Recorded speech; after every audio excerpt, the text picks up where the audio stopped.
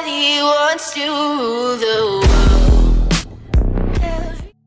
Alright guys, Blanchy is back with another FIFA 15 Virtual Pro lookalike tutorial today. It is cat amongst the pigeons time. It is Patrick Herrmann of Borussia Mönchengladbach. I've left him at £165 lean build. I haven't researched his weight and build, but he looks quite slim to me, so that's how I've left him. Now the hairstyle, um, I've gone for for the way it shapes around the ears, guys, because it, it looks very similar to the way he has his hair. Granted, it's not as spiky on top, but that side view is very, very good.